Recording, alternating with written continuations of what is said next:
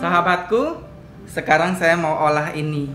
Ini konro bakar asam pedas. Uh, ini aja udah nikmat banget ya. Jadi konronya ini kita masak dalam bumbu coto Makassar. Setelah itu nanti akan saya bakar, akan saya bikin saus asam pedas yang enak. Nanti dia bermandikan saus asam pedas, ininya dibakar pakai butter. Uh, nyus merkunyus, mak nyus pokoknya sahabatku. Kita mulai yuk. Berikut adalah bahan-bahan untuk saus konro bakar asam pedas.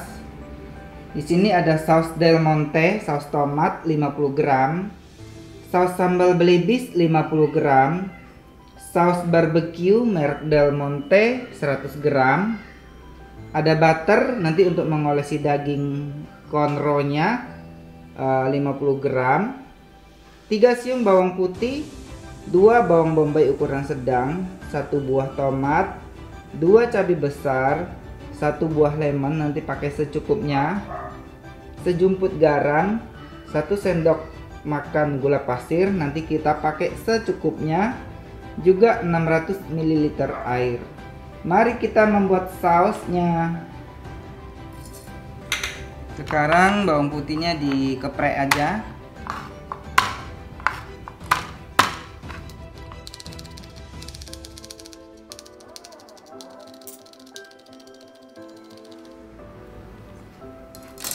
Jadi kalau kita buka restoran sahabatku Kita bisa bikin satu masakan nanti menjadi dua menu. Itu sangat membantu supaya menu kita banyak Tapi pekerjaan kita tidak repot.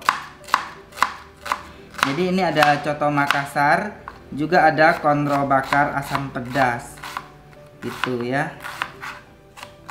Masak konronya satu kali sama daging duk coto. Tapi sudah bisa dapat satu menu tambahan. Konro bakar asam pedas ini menjadi salah satu menu favorit di restoran Daeng Naba yang di Kemang itu loh sahabatku.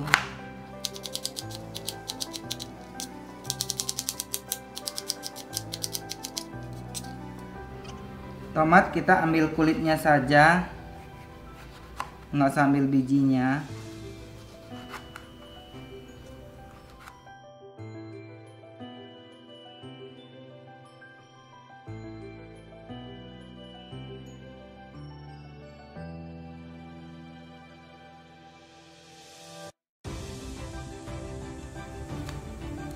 cabai besarnya ini kita potong kayak gini. Ini sebetulnya hanya untuk pemanis ya sahabatku. Jadi nanti dia mungkin tidak dimakan tapi dia memberikan aroma dan juga menambah e, bagusnya hidangan gitu ya. Jadi nampaknya dia keren gitu ya. Ya tentunya dia memberikan rasa pedas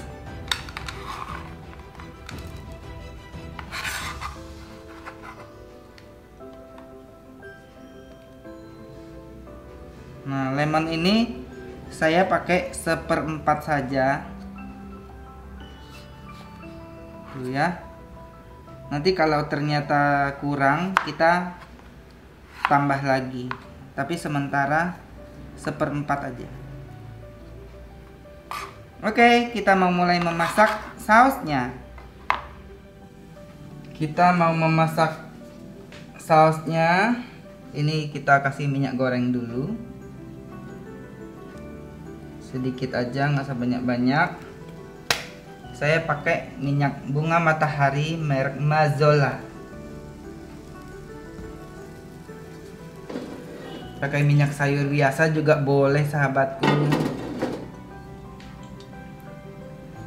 Kita masukkan bombaynya. Jadi kalau numis-numis saya lebih suka pakai minyak goreng ya. Dia lebih cepat garingnya sahabatku. Nanti pas kita bakar-bakaran baru pakai butter.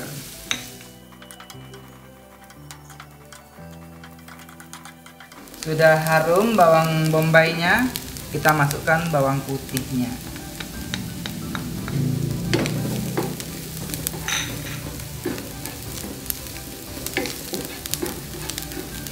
Harum banget sahabatku ya iyalah ya bawang digoreng ya harum ya.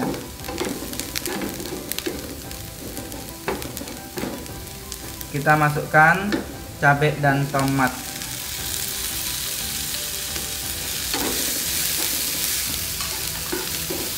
Simple kok sausnya sahabatku. Nggak ribet. Jadi kalau kita masak uh, untuk restoran tuh kalau ribet nanti tamunya keburu kabur ya masak aja yang simple sausnya tapi enak.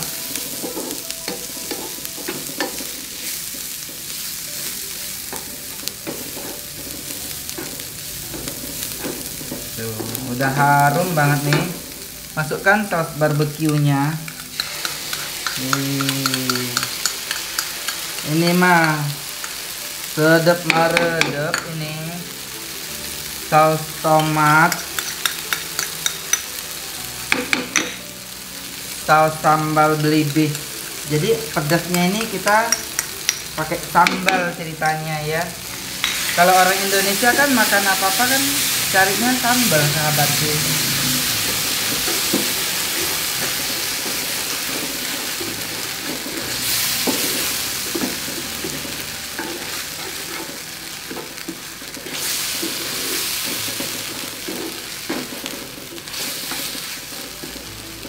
Nah, kita masukkan air sahabatku.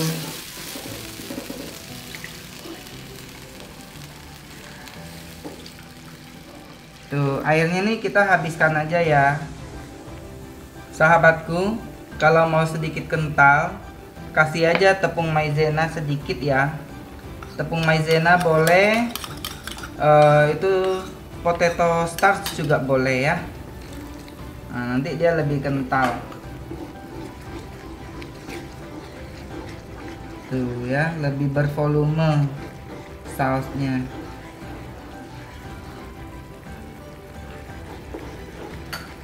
kita coba rasakan dulu.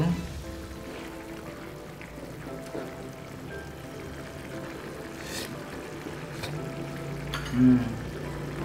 rasanya sudah cukup bagus. Kasih jeruk. Jeruk ini dipersin sedikit aja ya. Nggak usah banyak-banyak sahabatku kasih garam. Gulanya setengah aja. Supaya tidak terlalu kemanisan ya. Kalau kemanisan nanti sensasi asamnya malah hilang. Nah ini udah mateng nih sausnya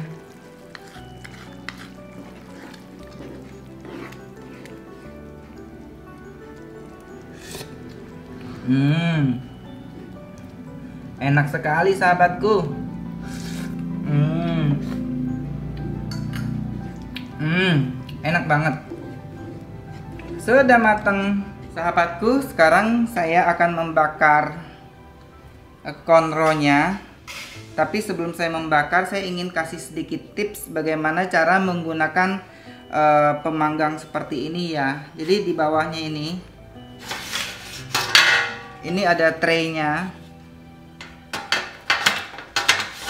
Ini kita kasih air sahabatku. Fungsinya supaya kalau ada minyak-minyak yang keluar dari panggangan itu biasanya kan suka menyala besar apinya ya. Jadi apinya ini nggak akan menyala besar kalau dikasih air sahabatku. Tuh ya kasih air aja. Ini eh, tabung gasnya sudah saya pasang Nah, sekarang kita mau nyalakan. Nah, ini sudah nyala ya sahabatku. Jadi besarnya api ini tergantung kita yang mengaturnya sahabatku. Nah, pasang ininya. Nah, pastikan posisinya sudah oke. Okay.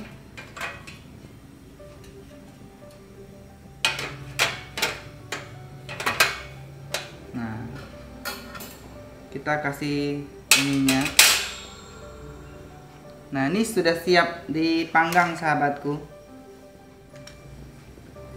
Tapi sebelumnya saya ingin melumerkan si butter dulu. Supaya nanti saya mudah mengoles di dagingnya. Jadi ini butternya dilumer aja. Di sini. Tuh ya, sudah panas nih sahabatku.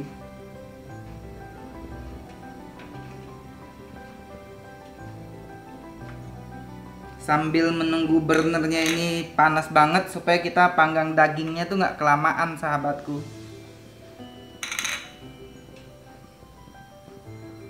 Ini bakal asap ke mana-mana serumah-rumah sahabatku. Karena saya males menyalakan bara api ya di atas. Kelamaan jadi ambil cepat aja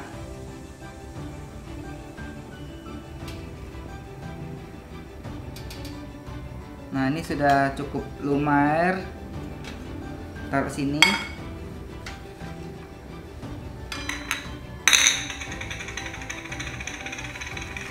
Tuh ya. Nampak kan?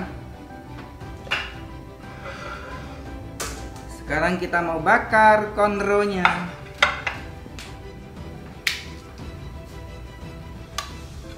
Kita taruh konronya. Tuh Wih. Hmm. Cakep banget sahabatku konronya. Jadi kalau kita isi air di bawah, nanti kalaupun ada keluar api gitu ya, nggak akan membahayakan gitu sahabatku karena api yang keluar nanti tuh langsung mati karena ada air di bawahnya ya. Siapa tahu sahabatku kepengen barbeque di rumah, pakai alat ini cukup aman. Yang penting di bawahnya kasih air ya. Ini mah sedap maredep nyus marku. Nyus sahabatku. Kita balik. Tuh. Eits, awas dia mau kabur. Hmm. panas Nah, kita olesin butter sekarang. Wih. Ini bakal delicious sahabatku. Kalau bahasa Inggrisnya bilang it's gonna be a delicious. Hmm.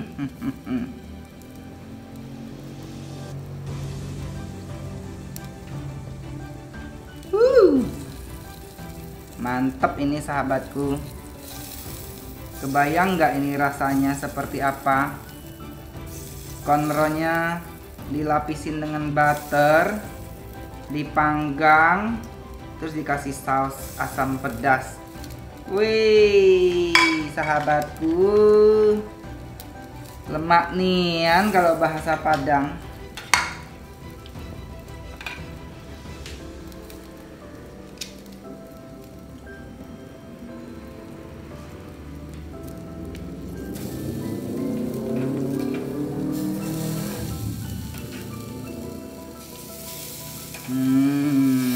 Sudah mulai berasap dan berapi. Uy. Serem kali ini Mak Butet. Woi. Woi. Ngeri kali kalau orang Batak bilang ini mah. Jadi saya punya sahabat YouTube namanya Mbak Butet, orangnya lucu. Woi, yo. Tuh kan, tuh kan. Ngeri kan? Tuh. Makanya kalau orang Batak bilang ngeri kali ini, bah. Jadi kalau nggak ada air di bawah, wow, siap-siap kebakaran. Tuh, cakepnya sahabatku. Ini sudah mateng ya, sudah wangi dan kelamaan manggangnya nanti keras sahabatku. Tuh ya, sudah cukup. Tuh ya. Sudah wangi banget ini. Matikan kompornya. Tuh. Cakep banget ini sahabatku.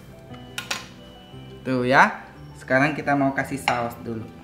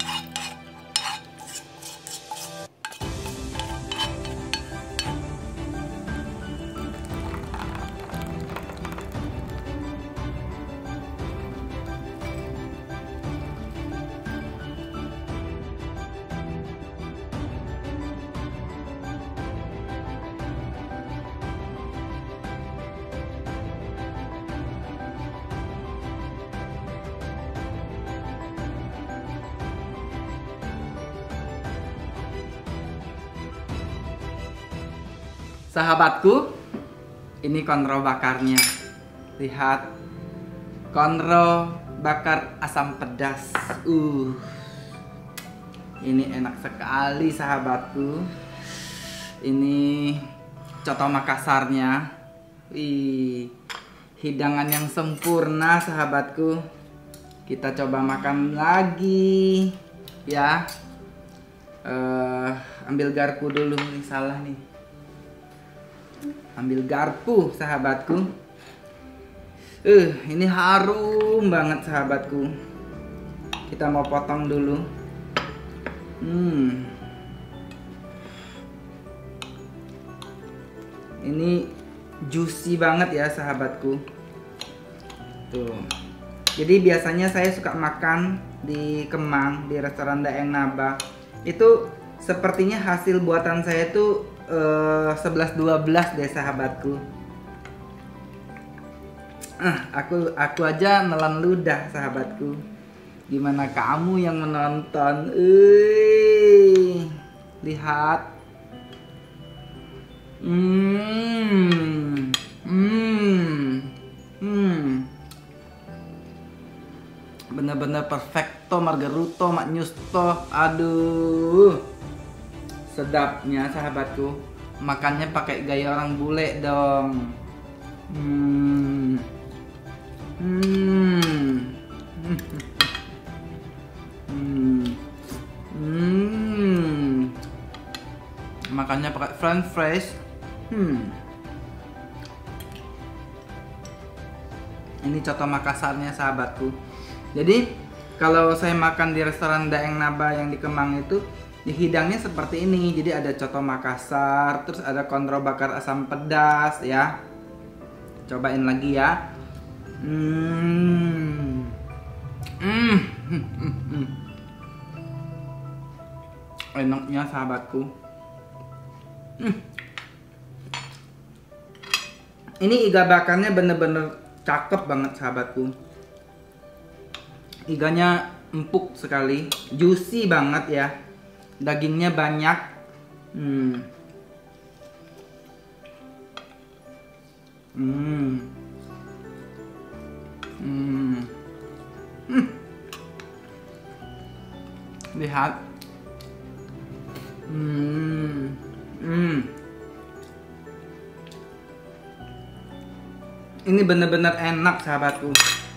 Jadi resep ini benar-benar saya sambil sembari makan biasanya ya kalau di Kemang itu sembari saya mikir dia masaknya pakai apa ya? Oh ini kayaknya dia satu menu deh sama si coto Makassar. Hanya saja si tulangnya ini dibakar gitu. Dan saya berhasil menciptakannya sendiri sahabatku. Ini luar biasa sahabatku. Tulang sapinya ini bener-bener enak. Hmm